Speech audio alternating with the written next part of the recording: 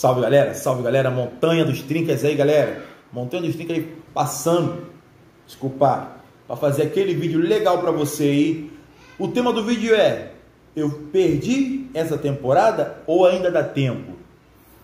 Perdi a temporada ou ainda dá tempo? Se você quer aprender um pouquinho do que o Montanha pega aqui e passa para vocês, fica nesse vídeo até o final aí. Mas antes já eu quero agradecer a cada inscrito aí que está representando maneiro, a cada inscrito aí. Eu faço um convite a você, convide um amigo aí que está precisando de umas maneiras, de umas ajuda. Beleza? Quem me conhece sabe que eu dou uma atenção pra caramba, tá me entendendo? Manda mensagem pro cara, pergunta, aí cara, como é que tá suave? Deu bom, não deu bom e tal. É, e você que não é inscrito, que, tá, que caiu aí no vídeo aí, né? É, dá uma olhada no vídeo aí, nos conteúdos aí. Se tiver um conteúdo bom, eu só peço sua inscrição em troca, beleza? Montando os trinques. Então, galera, vamos lá rapidinho sem mais bilongais. Beleza? Foi. Montanha, perdi essa temporada? Ainda dá tempo? Mano, você não perdeu a temporada e ainda dá tempo. O que acontece? A gente, eu costumo falar que a gente está no início de temporada. Está no início de temporada ainda. Tem fêmeas que não estão prontas tem fêmeas que não estão nem rodando ninho quando já era para estar tá na segunda postura, aqui em casa principalmente, entendeu? Então o que acontece, cara?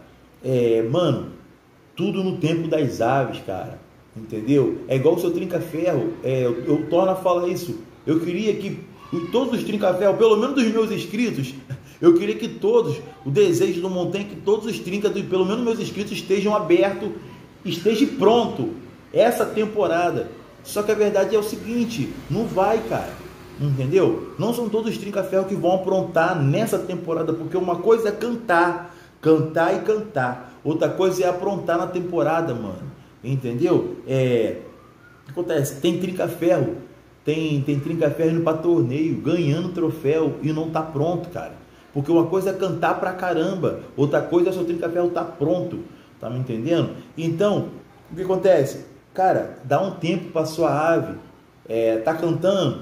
Mano, torna a falar aqui, a verdade é essa. Eu não tô aqui para esconder nada, tá me entendendo? Não tem aquele remédio que vai fazer o seu trinca-ferro aprontar. Não tem aquela alimentação que vai fazer sua, sua ave cantar, triplicar o canto. Não tem, mano. Entendeu? O que acontece? Tem sim a ajudar no condicionamento da sua ave, tá me entendendo? Uma boa alimentação, uma higiene, eu sempre falo isso, uma paciência. Paciência, eu, eu acho que além de tudo isso, cara, eu acho que o primordial é a paciência que você tem que ter, tá me entendendo? Poxa, às vezes a galera, poxa, montanha, pô, brincadeira, eu levei meu trinca-ferro na casa do amigo, cantou, cantou, cantou pra caramba. Cheguei em casa, ele parou de cantar. Caramba, tô preocupado. Mano, não fica preocupado não, cara. É o que eu falei, tu não perdeu essa temporada não. E outra coisa, com todo respeito a vocês inscritos, dão, mano, por satisfeito da sua ave estar tá cantando legal. Ou até mesmo começando a foguear, porque às vezes você tem trinca-ferro em casa que está cantando, mano, e não vai aprontar essa temporada. Entendeu? Então, bem satisfeito que está cantando. Tem galera que a ave nem, nem, dando um, nem dando um pistado ainda tá. A verdade é essa, entendeu? É igual, poxa, montanha. Às vezes a galera me manda mensagem, não tá errado não, valeu, galera? Só um comentário. Às vezes a galera me manda mensagem, é 3 horas da tarde. Montanha, levei meu trinca-ferro no mato, levei meu trinca-ferro no passeio, cantou pra caramba. Só que, poxa, agora parou. Cara, é normal parar, mano.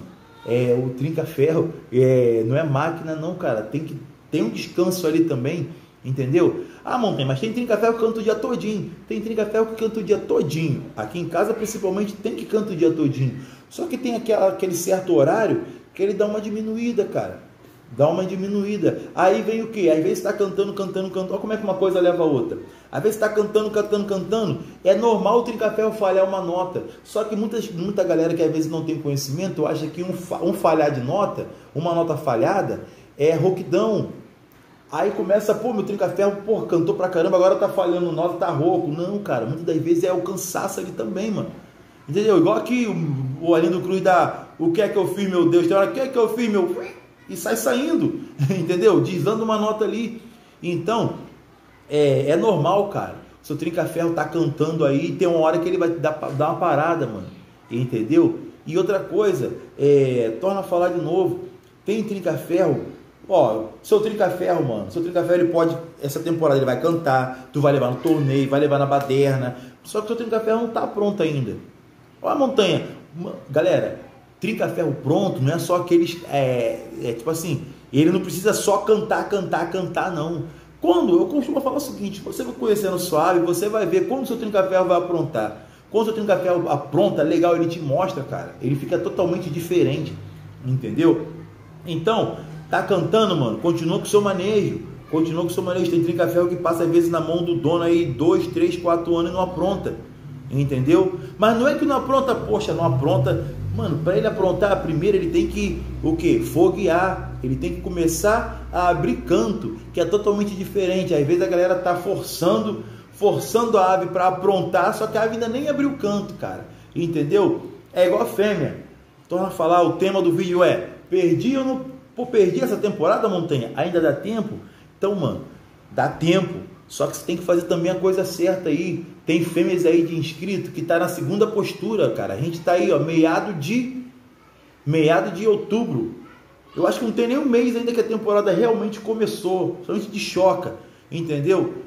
Então tem, tem amigo aí que já tá na segunda postura sem gala, cara. Então tá desgastando a fêmea. Eu sempre falo quando a galera pergunta aí, poxa montanha, é, minha fêmea colocou, minha fêmea colocou, cara, sem gala. E agora eu, cara, deixa passar os cinco dias ela chocando, tira o ninho com tudo, depois de cinco, seis dias, certifica-se de que o ovo está realmente vazio.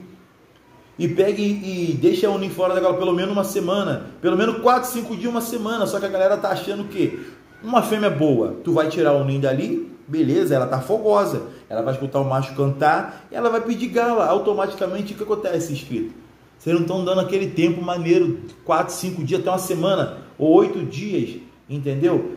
É, para voltar com o ninho na gaiola. Então tá, ela tá riando, você vai lá vai colocar o, o ninho na gaiola com dois, três dias. Automaticamente você vai abrir o passador da gaiola. Se o seu macho também não tiver pronto, não adianta que ele não vai galar, cara. Ele tá cantando, pô, mas o macho tá cantando pra caramba, a fêmea fica igual um V e tal, e ele não vai lá. Posso ser que ele vai lá, para do lado dela no puleiro, fica olhando, e depois ele volta para a gaiola dele de novo, cara. Entendeu? Então, certifica-se legal, se, se realmente seu trinca está pronto para botar para galar uma fêmea, porque aí sim, de repente, você perde essa temporada de quê? Poxa, não tem nem um mês direito de temporada, de choca, de reprodução, e sua fêmea já está na segunda postura aí, cara, é, sem gala, e às vezes colocando dois, três ovos, olha, olha o caos que ela está perdendo, entendeu? Olha o desgaste que ela está fazendo. Então, paciência, mano. Não tem, cara, eu estou aqui para falar a verdade mesmo. Não tem remédio que vai fazer o seu trinca-ferro aprontar. Não tem aquela alimentação que vai fazer o seu trinca-ferro cantar mais. Não, isso tudo é um complexo vitamínico. Se você der legal, do jeito que tem que dar, você vai ajudar naquele processo ali da sua ave a foguear mais, a cantar mais, entendeu? É, a produzir mais. É igual a fêmea. É, cara, monta legal a gaiola da fêmea, entendeu? Realmente se você souber que seu macho está legal ou se você tem como arrumar um macho de alguém, entendeu? Para poder galar ela, porque a galera tá pegando a, a, o negócio é o seguinte, a gente está tanto naquele negócio de tirar filhote, que é uma coisa boa, só que a gente está esquecendo muito de, às vezes, calcificar legal a nossa ave, uma alimentação boa, não é só com a fêmea que vai botar o ovo, só que para isso ela precisa do macho também para encher, cara. Entendeu? Então, às vezes, um remédio mal dosado, entendeu? Excesso de vitamina mal dosada vai deixar a sua ave fértil. Tanto macho quanto a fêmea. Não adianta.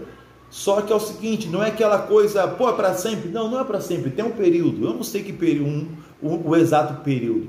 Às vezes você tá lá com o seu macho, às vezes você tá lá com o seu macho saudável, cantando, matando e a suave prontona. Ele vai lá, copula ela lá, gala ela e nasce ovo e, e ela coloca sem gala. Tu espera os 13 dias não nasce nada.